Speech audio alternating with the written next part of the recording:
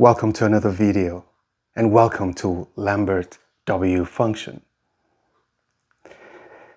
We're going to be differentiating the Lambert W function without too much details, but I want to show you a problem that because you know the natural log function, you can solve. It's, it's an equation you can solve. And then I'm going to show you another problem that looks like it, that no matter how hard you try, you cannot solve it using your natural log function. And you might initially think you can solve it, and then you're to end up coming back to Mr. Lambert for help.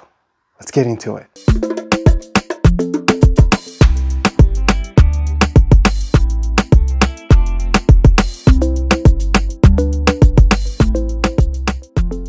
So let's solve the first problem.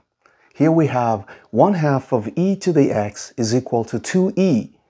We're trying to find x. Remember, the mission is to find x. There are so many ways to solve this. But right before you start, you could tell that as long as that x is sitting up there on top of e, when I take the natural log of both sides, I'm going to get my answer ultimately, whatever other strategy I adopt. So in this case, I'm going to multiply both sides by 2 so that I have e to the x is equal to 4e. Oh, almost done, right? I can divide both sides by e or I can just take the natural log of both sides. You see, if I take ln of e to the x, I'm getting the natural log of 4e. And what do I get? I'm going to get um, x comes out of this because natural log undoes what e does. You see that? This is essential.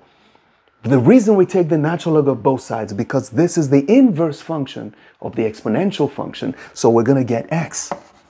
What do we get on this side? Natural log of 4e.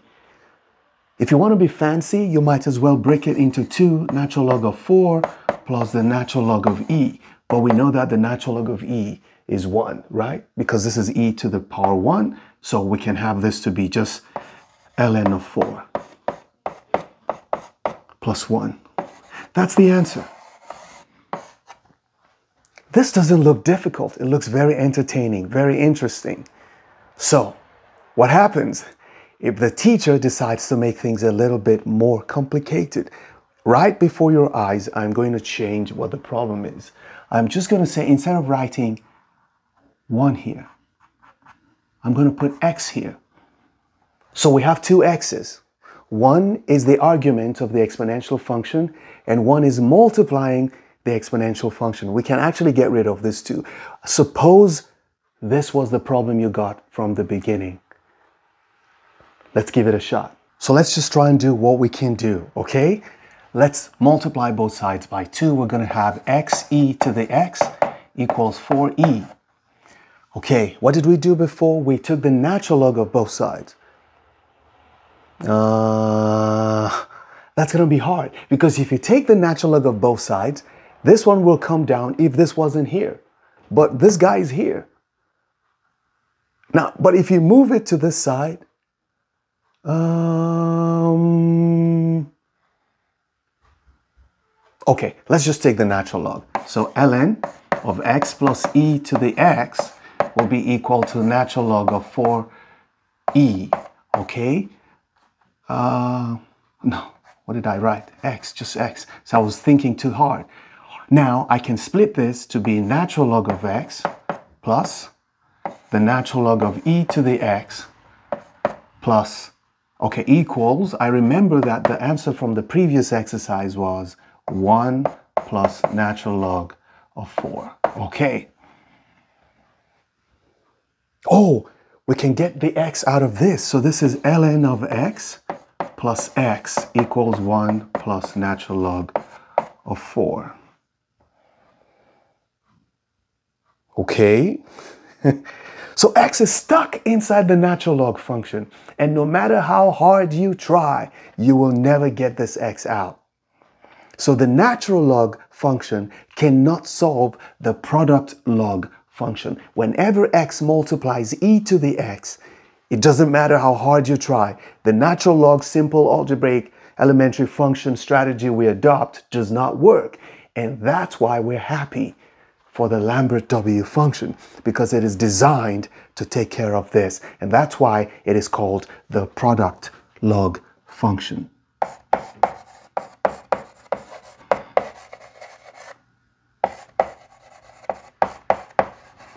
Think it's actually one word. It's product log function, no hyphen. It's a product log function and you have to use it just as you have to use the natural log function when you're dealing with e to the x. So now that you've seen why we need another function other than the natural log function because some equations cannot be solved, let us see how this behaves in relation to a product of x and e to the x. Let's start with the definition of the Lambert W function.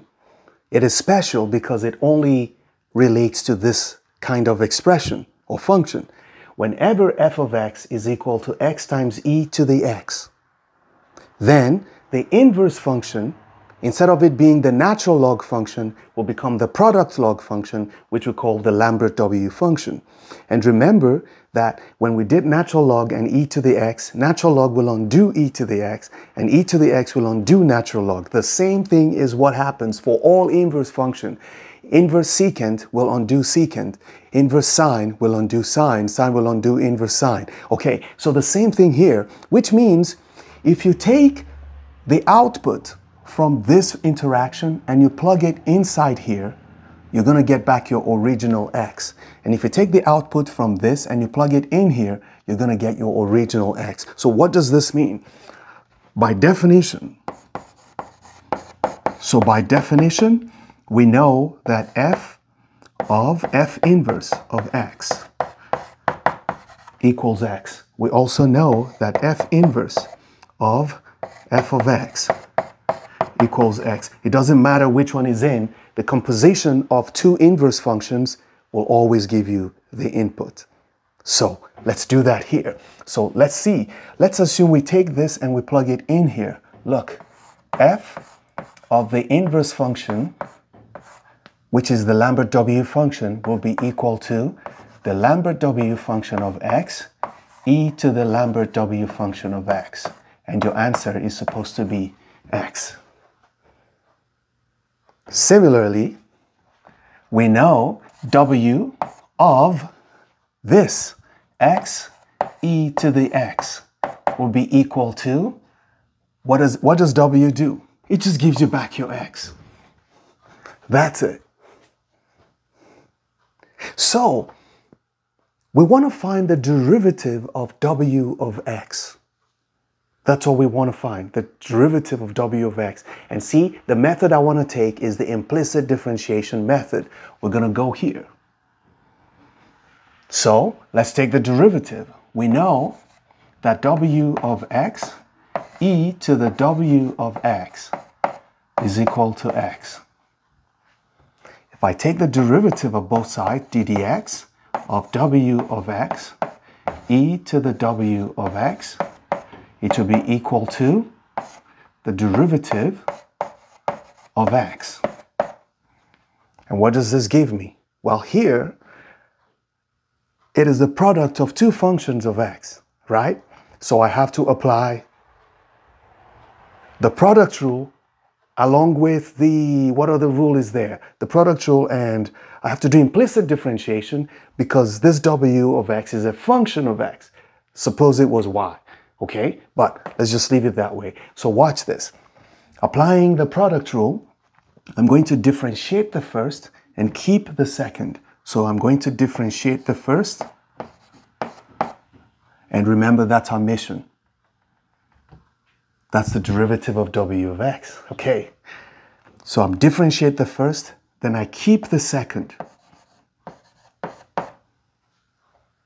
Plus, I'm going to keep the first and I'll differentiate the second. How do you differentiate this? When you differentiate e to anything, it's e to that thing multiplied by the derivative of that thing, right? So it's going to be um, e to the w of x times the derivative of whatever is on top. That's how you differentiate all exponential functions. So we're done with the left-hand side using the product rule, and on the right-hand side, the derivative of this is 1.